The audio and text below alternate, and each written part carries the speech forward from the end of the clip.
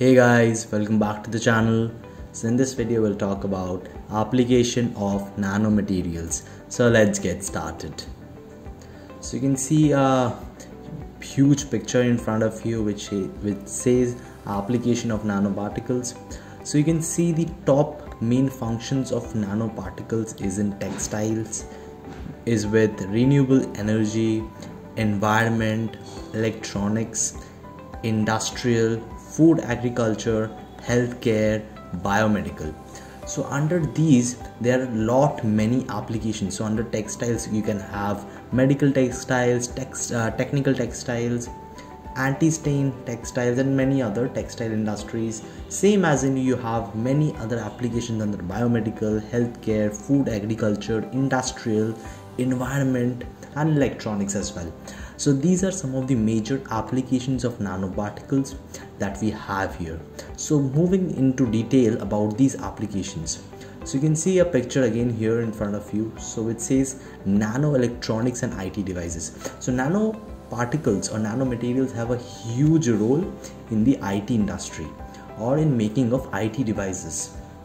So why do we use them? So these have excellent or these are excellent conductors of heat and electricity.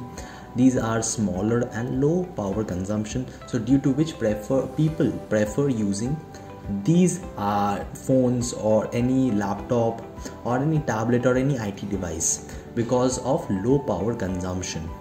Also it develops high speed processing and data storage devices. So due to increasing or increase in technology or advancement in technology the processors have increased highly or advanced highly which causes high speed processing or transfer of data or working during your uh, office hours so these are all caused or these are all important foundations caused by IT devices with the help of nanomaterials. So some of the examples that are used are resistors, conductors, electronic microchips, CNT based field emission displays, single electron transistor.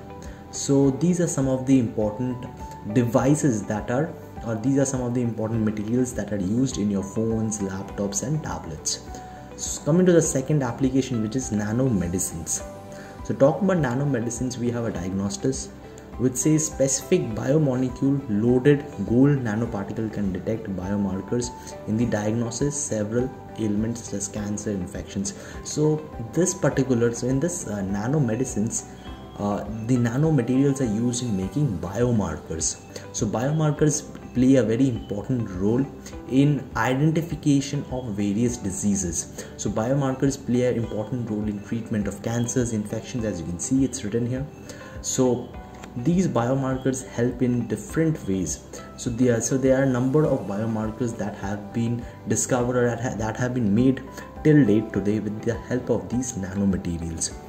Moving on with this so talking about the nano devices you can see two devices here. So the first device which is the graphene wireless sensor on tooth to measure bacterial growth in mouth so you can see the advancement of technology which can be used to measure the bacterial growth in your mouth.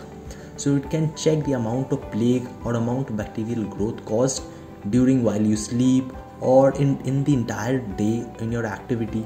So these are graphene wireless sensors. So these are sensors that are uh, equipped or these are attached in your tooth to measure the bacterial growth in the mouth. Also we have electronic sensors such as temporary tattoo to monitor glucose level. So these temporary tattoos are just attached like a sticker on your skin to measure the glucose level. And also there, there, there are many such nano devices that is used on human body to measure the insulin level and all the sugar levels for diabetic patients as well. So moving with that so talking about the medicines and drugs. So there are different ways to uh, different ways to bypass or to understand the nature of the disease and to cure them with the help of these nanoparticles. So moving with that i'll explain this diagram clearly. So applications of nanoparticles. So we have therapeutic agent delivery. So talking about the therapeutic agent delivery or TAD. So nanoparticle mediated drug delivery allows controlled and timely release of the drug in the specific sites only. So therapeutic agent delivery is basically using nanomaterials or nanoparticles that is used along with the drug so that that particular drug when it is used or inhaled or consumed by the patient so that particular drug has its desired effect on that patient on that particular site or on that particular location where the damage has occurred so these uh, nanoparticles are used in TAD or therapeutic agent delivery so that the particular drug consumed by the patient has its desired effect. Also, nanoparticles can be surfaced, immobilized, or loaded with therapeutics, targeting agents, and anti-fouling polymers. So there, so these nanoparticles can be customized in a way such that it can be used for its uh, purpose to fulfilling its purpose by using various targeting agents and anti-fouling uh, polymers. So you can see here the diagram is shown here. So these are drugs here and there are toxins below it. So these bomb like creatures or you can say anything which are represented as toxins and above that you have the drugs so when these drugs get attached or get in contact with these toxins the drugs release their or release their antitoxin uh, antitoxin inflammatory or their agent particularly particularly to kill the toxin so that their effect or their purpose is satisfied. So you can see here that's a layer in low at the low at bottom which says non-cancerous cells. Above the non-cancerous cells we have the cancer cells so when a drug, a drug is put into the body of a patient the drug is uh, assumed that particular drug will cause its effect on the site of cancer cells or the infected region in the body. So to fulfill its purpose nanomaterials are used. In most cases what happens is when medicines are consumed by patients the drug or the particular medicine do not have that particular desired effect on that patient. So to increase the efficacy or to increase the effectiveness of the drug these nanoparticles are used. So that particular drug has its effect on that infected area only. So moving with that let's talk about sensors now so high surface area with facility of biomolecule immobilization and unique optical properties allow it to be used for detection of proteins pollutants, contaminants, infectious agents, and other molecules. So there are various sensors available in the market, as you know. So most of them are designed with nanomatic, uh, nanomaterials, or you can say all of them are designed with nanomaterials, so as to uh, identify or determine the various levels in our body, in the environment, and wherever uh, it's available or wherever it needs to be used.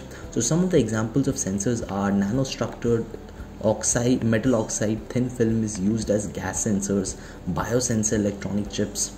So this particular uh, nanomaterial or metal oxide thin film is used in various sensors. Also we have ultra sensitive electronic electromechanical sensors and micro electromechanical sensors which is known as MEMS also we have nano lithography which is used for fabrication of chips. We have nanowires for are used for making transistors. So there are many uses of nanomaterials that are available in today's world. So moving more. So you can see optical engineering. So we know or we all of us use internet uh, in today's time so all of most of us have routers in our home. Most of us use the data that is available by different telecom services. So which leads to all of us getting connected with internet at the end of the day. So you can see these are optical fibers or optical wires that are used. And these are cables alright so these are made up of nanomaterials so that its conductivity is really lightning fast so that there is no loss of data or no, no loss of energy in between and no loss of heat in transmission. And these optical fibers are very much effective in transferring uh, energy or they are transferring data that we use today in today's world. So these lay a very important foundation in the internet services that we use today so some of the more of the applications here are catalysis. So several nanoparticles are can selectively oxidize or reduce a chemical reaction. So these can be used as a oxidizing or a reducing agent as well. So example are envirox cerium oxide. So we have example here which is Envirox cerium oxide which can be used as a oxidizing or a reducing chemical agent we have energy such as fuel cell solar cell batteries phosphate nanocrystal technology capacitors. We also have cosmetics. So zinc oxide titanium oxide can be able to absorb or reflect uv light uv light. So there are key ingredients of several sunscreen and cosmetics. Also toothpaste to remineralize teeth.